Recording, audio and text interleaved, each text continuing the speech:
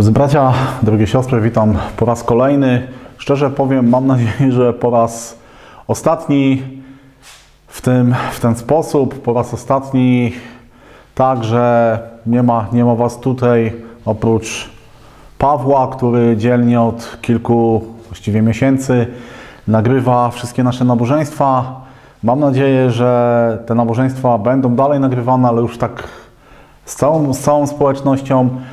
Ale póki, póki nie mamy takiej możliwości jeszcze, to bardzo się cieszę, że też w internecie możemy się spotkać, że w internecie też możemy patrzeć wspólnie do Bożego Słowa i chciałbym, żebyśmy dzisiaj znowu zajrzeli do Księgi Jozułego, do, tym razem do dziewiątego rozdziału, ale nim to zrobimy, chciałbym troszeczkę krótko, przy, spróbuję krótko przypomnieć to, o czym mówiliśmy poprzednim razem, kiedy mieliśmy rozważaliśmy siódmy rozdział Księgi Jozułego. Mieliśmy tam historię Achana, człowieka, który świadomie zlekceważył Boży rozkaz, zlekceważył Boże prawo i targnął się na to, co Pan Bóg zabrać nie pozwolił przy zdobyciu Jericha.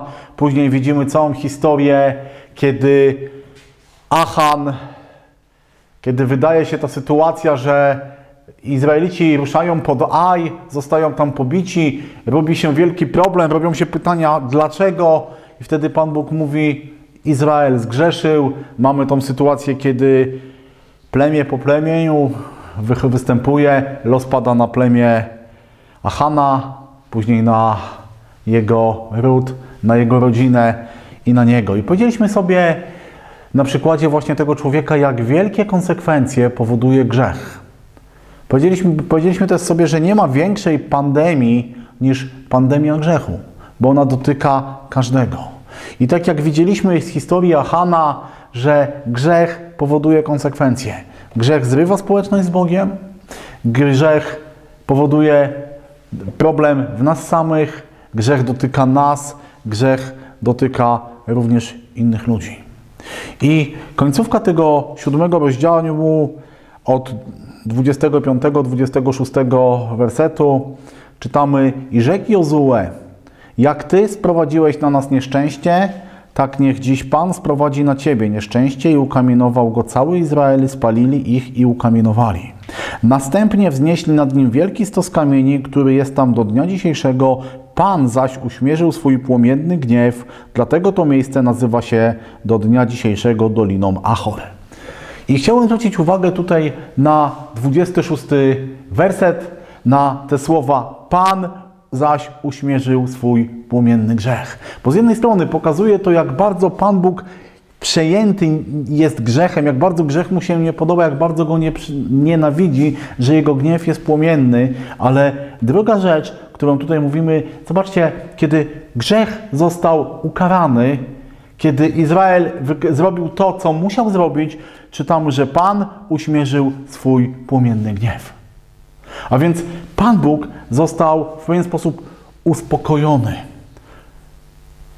Jego gniew osłabł. I dalej widzimy ósmy rozdział, pierwsze dwa wersety. I rzekł Pan do Jozułego, nie bój się i nie lękaj się, weź z sobą cały zbrojny lud, powstań i wyrusz do Aj, patrz, oto ja wydam w Twoje ręce króla Aj z jego ludem, miastem i ziemią. A postąpisz z Aj i z jego królem tak, jak postąpiłeś z Jerychem i jego królem.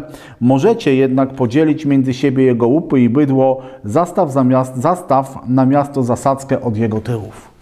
I ósmy rozdział zaczyna się od dwóch bardzo ważnych rzeczy.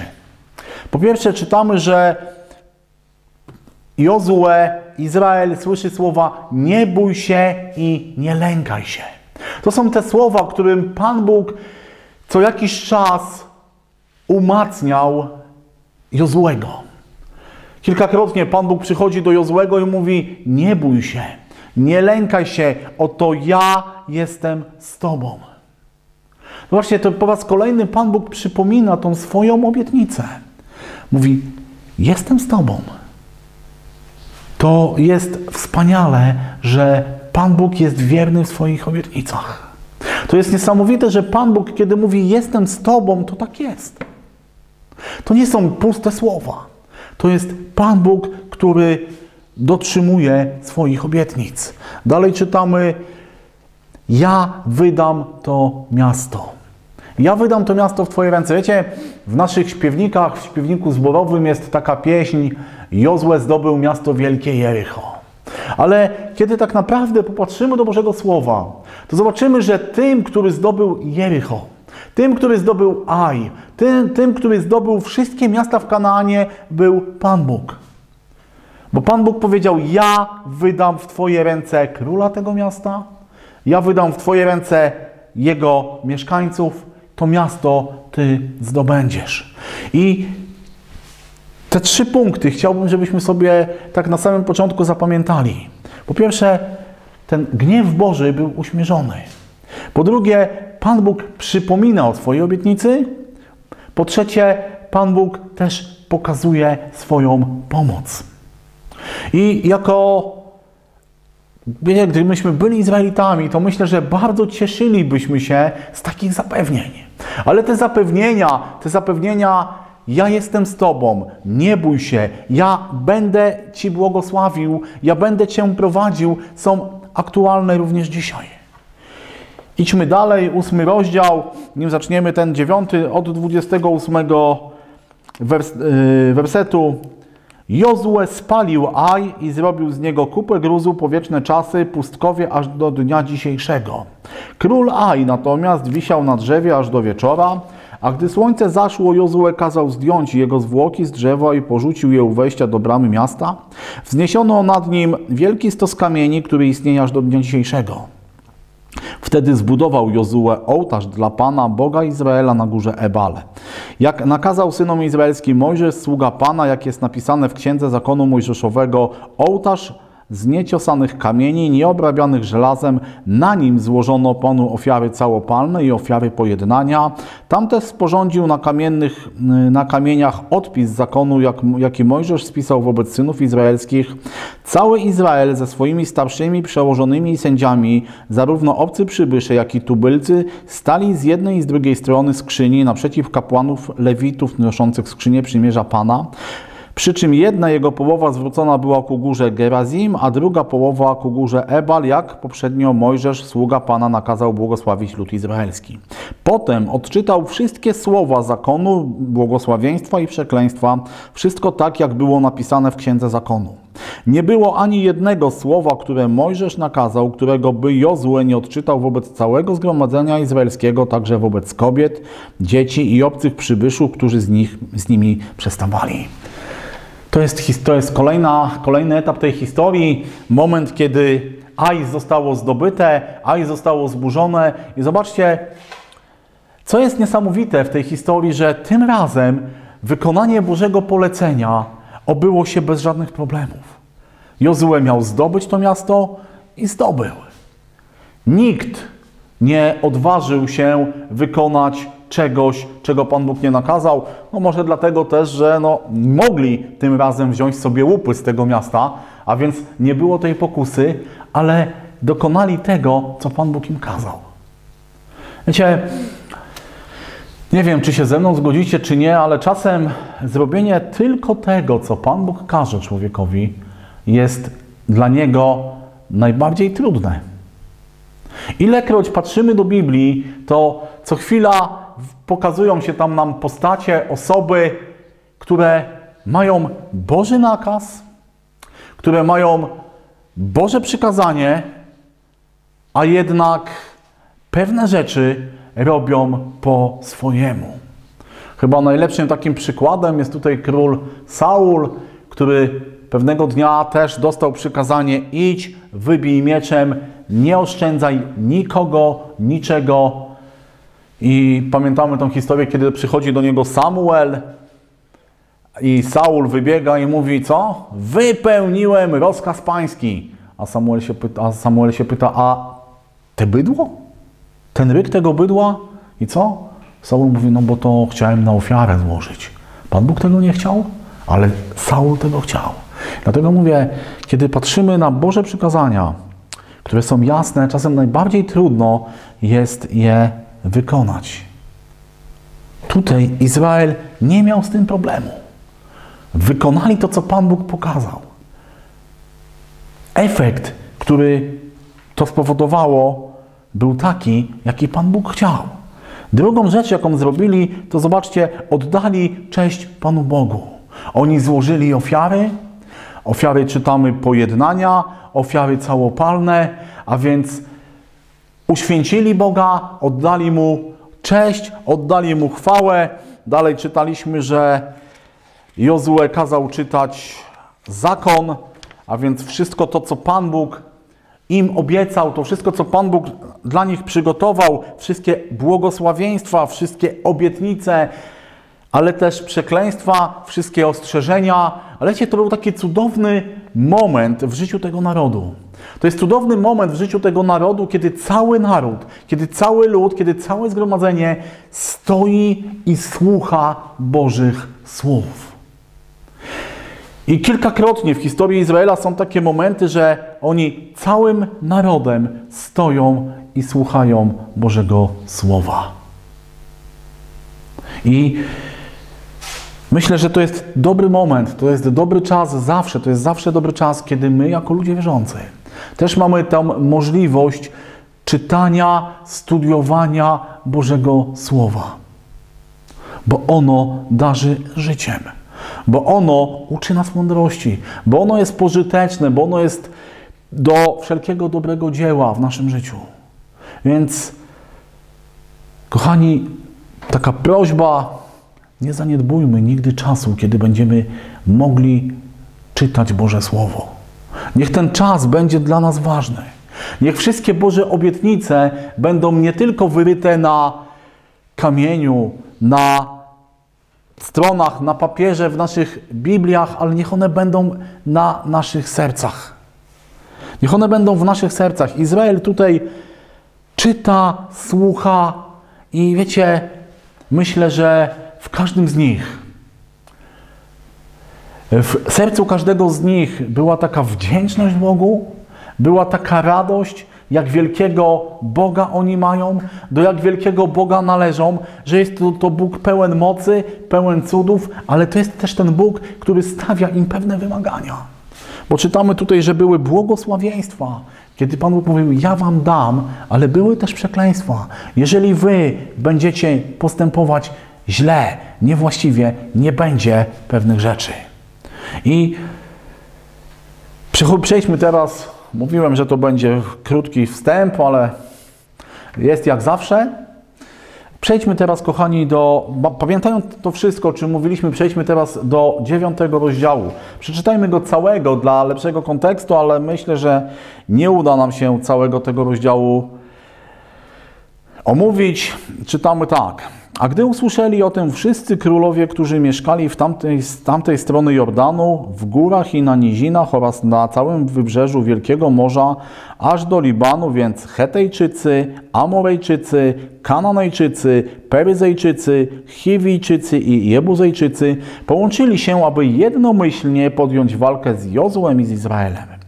Lecz Mieszkańcy Gibeonu, usłyszawszy o tym, jak Jozue postąpił z Jerychem i z Aj, postanowili także użyć podstępu. Wybrali się w drogę, zaopatrzeni w żywność, wzięli z sobą stare worki na swoje osły i stare popękane i połatane łagwie na wino, włożyli na swoje nogi zdarte i połatane sandały, a na siebie zniszczone szaty. Wszystek zaś ich chleb na drogę był suchy i pokruszony. I przyszli do Jozułego, do obozu w Gilgal i rzekli do niego i do mężów izraelskich, przybyliśmy z dalekiego kraju, zawrzyjcie więc z nami przymierze. A mężowie izraelscy odpowiedzieli Chiwijczykom, może mieszkacie w pośród, w pośród nas, jakże więc mamy zawrzeć z wami przymierze? Oni odpowiedzieli mu, yy, oni zaś rzekli do Jozułego, sługami twoimi jesteśmy, a Jozue rzekł do nich, kim jesteście i skąd przybywacie? Oni odpowiedzieli mu, z bardzo dalekiej ziemi przybyli słudzy Twoi dla imienia Pana Boga Twego. Słyszeliśmy bowiem wieść o Nim i o wszystkim, co uczynił w Egipcie. I o wszystkim, co uczynił obu królom amorejskim z tamtej strony Jordanu, Sychonowi, królowi Heszbonu i Jogowi, królowi Baszanu, który mieszkał w Asztarot. Rzekli więc do nas nasi starsi i wszyscy mieszkańcy naszej ziemi – Weźcie z sobą żywność na drogę i wyjdźcie na ich spotkanie i powiedzcie im: Jesteśmy waszymi sługami, zawrzyjcie więc z nami przymierze. Ten chleb nasz był jeszcze ciepły, gdy zaopatrywaliśmy się weń w, drogę, na- y, w, droga, w domach naszych na drogę. Wyruszając do was, teraz zaś jest już suchy i pokruszony. Te łagwie na wino, które były nowe, kiedy je napełniliśmy, są one popękane. Te szaty nasze i sandały są zdarte z powodu bardzo dalekiej drogi. Wtedy mężowie izraelscy przyjęli nieco z ich żywności na drogę, ale wyroczni Pana nie pytali. Jozue zawarł z nimi pokój i przymierze, że zachowa ich przy życiu, a przełożeni zboru im to zaprzysięgli. Ale w trzy dni po zawarciu z nimi przymierza dowiedzieli się, że są z bliska i mieszkają wśród nich. Wyruszyli więc synowie izraelscy i trzeciego dnia dotarli do ich miast, a miastami tymi, tymi były Gibeon, Kefira, Berot i Kiriat Jarim. Synowie izraelscy, synowie izraelscy nie pozabijali ich, ponieważ przełożeni zboru zaprzysięgli im to na Pana Boga Izraela. Cały zbór jednak szemrał przeciwko przełożonym. Wtedy rzekli wszyscy przełożeni do całego zboru, zaprzysięgli, zaprzysięgliśmy im to na Pana Boga Izraela i teraz nie możemy ich tknąć. Lecz to im uczynimy, skoro postawimy ich, pozostawimy ich przy życiu, aby nie spadł na nas gniew z powodu złożonej im przysięgi. I powiedzieli im więc przełożeni, pozostaną przy życiu, lecz będą rąbali drzewo i nosili wodę dla całego zboru, jak powiedział im, powiedzieli im przełożeni. Jozue przywołał ich, rzekł do nich, dlaczego oszukaliście nas, mówiąc, jesteśmy z bardzo daleka, skoro mieszkacie pośród nas. Bądźcie więc przeklęci i nigdy nie zostaniecie zwolnieni od rąbania drzewa i znoszenia wody dla domu mojego Boga. A oni odpowiedzieli Jozuemu, słudzy twoi dowiedzieli się, jak o, jako o rzeczy pewnej, że Pan, Bóg Twój, nakazał Mojżeszowi, słudze swemu, oddać Wam całą tę ziemię i wytępić wszystkich mieszkańców tej ziemi przez, przed Waszym nadejściem. Baliśmy się więc bardzo z Waszego powodu o nasze życie i tak postąpiliśmy. Otóż teraz jesteśmy w Twoim ręku, co Ci się dobrym i słusznym wydaje, aby z nami uczynić, to uczyń. Takim też uczynił. Wyrwał ich z ręki synów izraelskich i ci ich nie zabili, ale Jozue przeznaczył ich w tym dniu do rąbania drzewa i noszenia wody dla zboru i dla ołtarza Pana, aż do dnia dzisiejszego w miejscu, które miał wybrać. Mamy dziewiąty rozdział. Myślę, że ciągle pamiętamy to, o czym mówiliśmy wcześniej, a więc o tym wszystkim, co wydarzyło się w ósmym, w ósmym rozdziale, o tym, że Izrael stał przed Bogiem, że Izrael odnowił w pewien sposób swoje przymierze z Panem, że przypomniał sobie, otrząsnął się już z tego, z tego nieszczęścia, jakie sprowadził na nich Achan. I widzimy rozdział dziewiąty. I wiecie, my jako ludzie, którzy mamy cały ten rozdział, możemy być Jesteśmy w dużo lepszej sytuacji, jesteśmy dużo mądrzejsi, ale wyobraźcie sobie Izraeli, Izrael, ten naród, tą społeczność, tych ludzi, którzy są obozem w Gilgal i nagle sensacja, przyjeżdżają jacyś ludzie. I tak jak czytaliśmy, wygląd tych ludzi no nie był zbyt, można powiedzieć, zachęcający. Było po nich widać, że przybywają z daleka. Czytamy o zniszczonym ubraniu, o, y, oni też sami mówią o swoim chlebie, który jest pokruszony, o, o bukłakach na wino, które są popękane i tak dalej, i tak dalej. Wiecie, to byli ludzie, którzy dołożyli wszelkich starań, aby się uwiarygodnić w oczach Izraela. Bo oni przybyli do Izraela, przybyli do Jozuego, przybyli do, tej, do całego Bożego Ludu z pewnym planem, z pewnym pomysłem. Oni przychodzą i mówią: Chcemy zawrzeć z Wami przymierze. Chcemy, żebyśmy mogli żyć, istnieć razem z Wami. W Starym w Słowo przymierze, zarówno w Starym i w Nowym Testamencie, kochani, to jest jedno z najważniejszych słów. Ta ważność przymierza w tamtych czasach, w krajach Bliskiego Wschodu, była bardzo, bardzo rygorystycznie przestrzegana. To przymierze to było pewnym układem pomiędzy dwoma stronami, które było obwa, obwa, obwarunkowane uwarunkowane pewnymi obowiązkami. W tym przypadku Gibe, mieszkańcy Gibeonu chcieli mieć zapewne to, że będą żyć i ta przysięga była e, składana na Boga. Tak naprawdę złamanie takiego przymierza groziło konsekwencjami ze strony tego, na kogo ono było zawierane. Tutaj mieszkańcy Gibeonu przychodzą do Izraelitów i mówią: Zawrzyjcie z nami przymierze. Przymierze na waszego Boga. I zobaczcie, jak wielką wagę Izraelici przykładali do tego przymierza. Bo nawet po odkryciu kłamstwa, nawet wtedy, kiedy wydało się, że Gibeonici tak naprawdę mieszkali 11 kilometrów od Aj, kiedy wydało się, że oni są tak blisko, kiedy się okazało, że oni są Chiwijczykami, których Pan Bóg kazał wytępić, i kiedy cały lud, można powiedzieć, był wzburzony na starszych Izraela, co wy żeście zrobili, to jednak co? Oni mówią, złamanie tego przymierza sprowadzi na nas Boży gniew. Złamanie tego przymierza zniesławi imię Boga. Tak bardzo oni byli przejęci czcią dla Boga. Tak bardzo zależało im na tym, żeby obraz Boga w oczach pogan był obrazem Boga, który jest inny niż wszyscy bogowie. I pomimo tej głupoty, jaką zrobili, to jednak starali się, chcieli, żeby imię Boga nie było zniesławione. Tak naprawdę, kochani, jeszcze jedna rzecz odnośnie tego, jak bardzo ważną rzeczą w tamtych czasach było to przymierze. Pan, Pan Bóg pozwolił, właściwie Jozue, zawarł to przymierze, ale słuchajcie, jedna ważna rzecz, na którą chciałbym zwrócić uwagę. 22 Księga Samuela, 21 rozdział, pierwszy i drugi werset. To, są, to jest historia, to są wydarzenia, które działy się około 400, 450 lat potem. Ale o czym tutaj mówimy? Za panowania Dawida nastał e, głód, który trwał trzy lata z rzędu. Dawid więc szukał wyroczni pańskiej, a Pan rzekł, na Saulu i na jego domu wciąży wina przelewu krwi, dlatego że wytracił Gibeonitów. 400 lat później, ponad 400 lat, Pan Bóg pamiętał o swoim przymierzu. O, te, o tym przymierzu. To nie było Boże przymierze, ale w imieniu Boga było zawarte.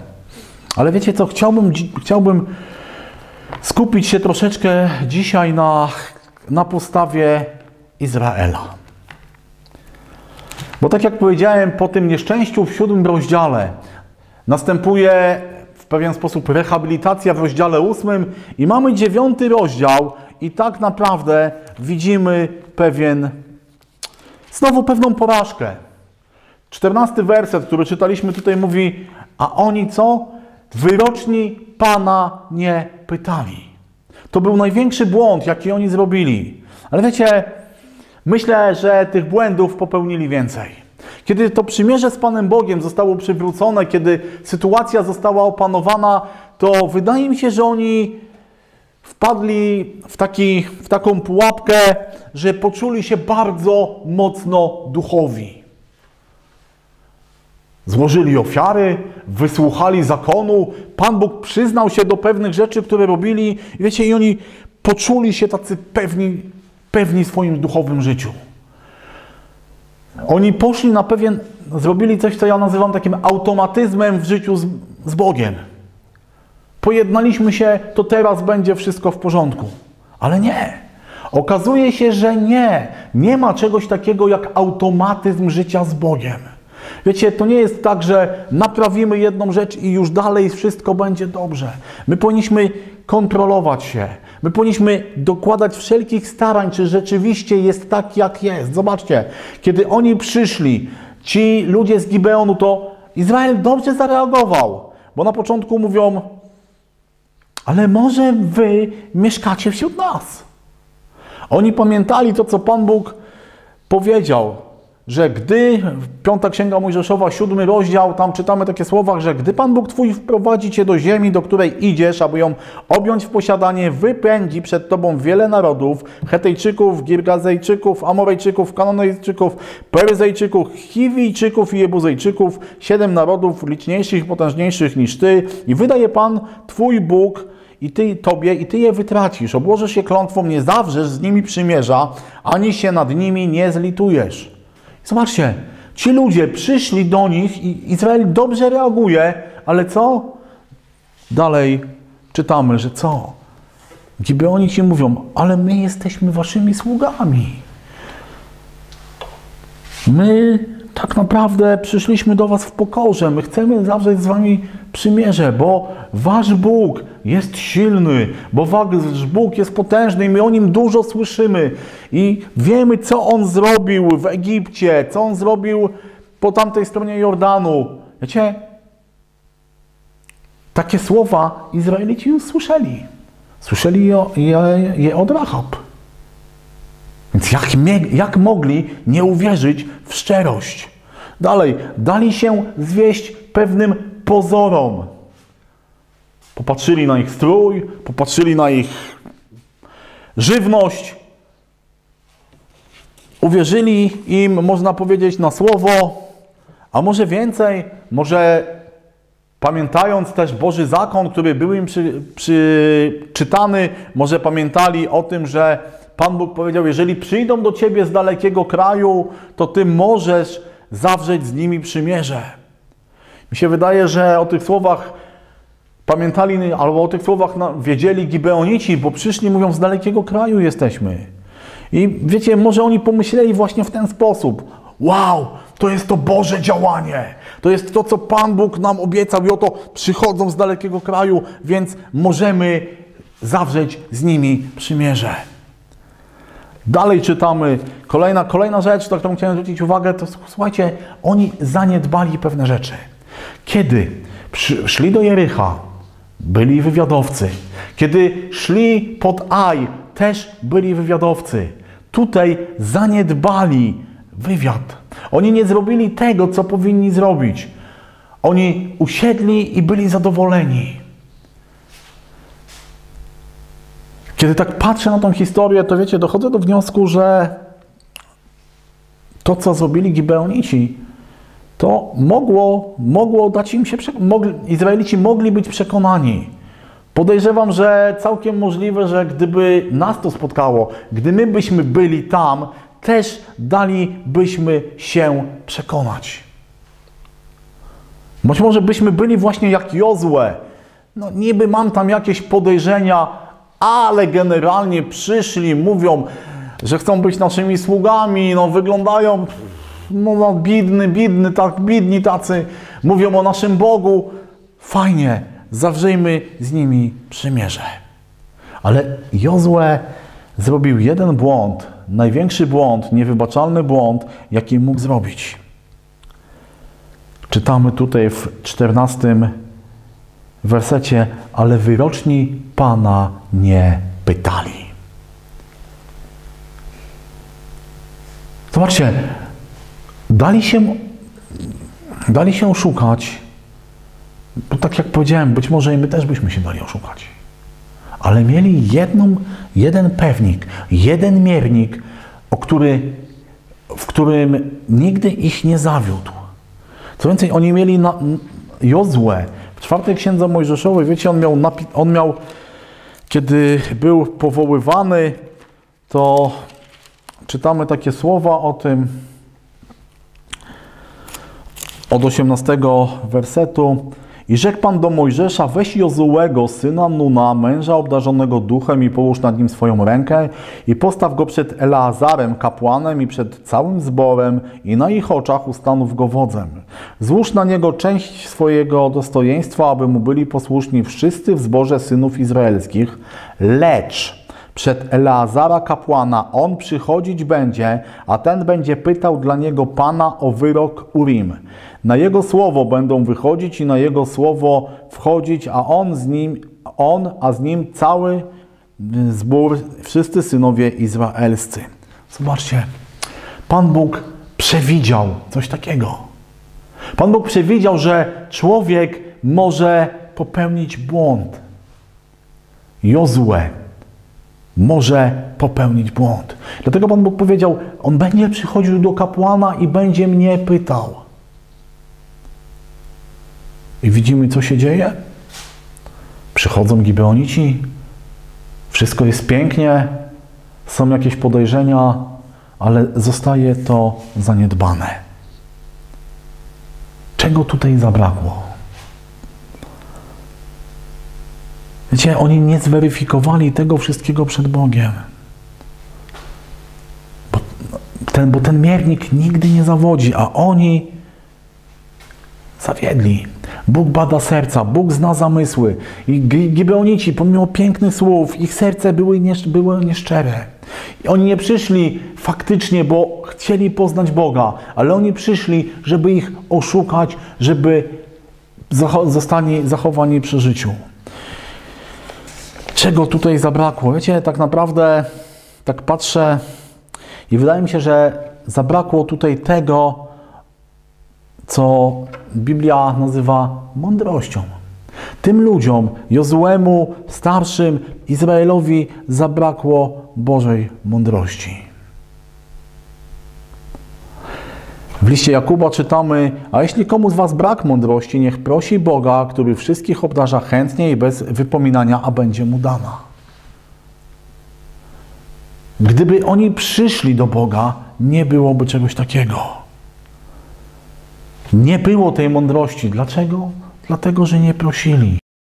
Stali. Bo czuli się tak duchowo silni, bo czuli się tak duchowo mocni, bo czuli się tak pewnie, że zapomnieli zapytać Boga.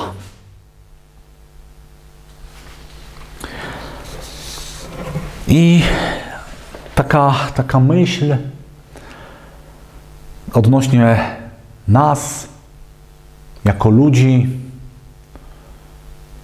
jak bardzo często ten świat nas potrafi zwieść. Jak bardzo często ten świat potrafi przemycić do naszego życia różne rzeczy, których nie powinniśmy jako Boże dzieci tolerować, akceptować, chełpić się nimi, szczycić. I bardzo często są to rzeczy, które wydają się być rzeczami dobrymi, porządnymi, pobożnymi. Tak jak Gibeonici, oni przyszli z pewną wiedzą na temat Boga. Oni przyszli z pewnymi, z pewną e, wiedzą, z pewnymi słowami, które uspokoiły serce Izraelitów, które ich, wiecie, udobruchały. Pomimo tych podejrzeń, jak bardzo często właśnie świat wchodzi do naszych domów, do, do naszych rodzin, do nas i wiecie, jest zawoalowany jakimiś fajnymi, pobożnymi, dobrze brzmiącymi cytatami. Jak bardzo często potrafimy nabierać się na to, że wygląda to tak bardzo niepozornie, że to nie jest groźne, że to nie jest y, szkodliwe. Dlaczego na to pozwalamy? Właśnie dlatego, że zapominamy. Dlatego, że nasze serca zapominają, że tak naprawdę mamy pytać Boga. Pytać Boga o decyzję w naszym życiu. Pytać Boga o nasze codzienne postępowanie. Wiecie, nie chcę tu iść skrajność, pytać Boga, czy mam na śniadanie zjeść jajecznicę, czy, czy parówki, ale tak naprawdę bardzo ważną rzeczą jest, żeby pytać Boga. I wiecie, zarówno to jest w naszym życiu, w życiu każdego człowieka, w życiu każdego wierzącego człowieka, ale tak samo myślę, że, a może jeszcze bardziej możemy to odnieść do zboru, do kościoła, do społeczności. Bo Izrael był społecznością. To była Boża społeczność. To był Boży lud.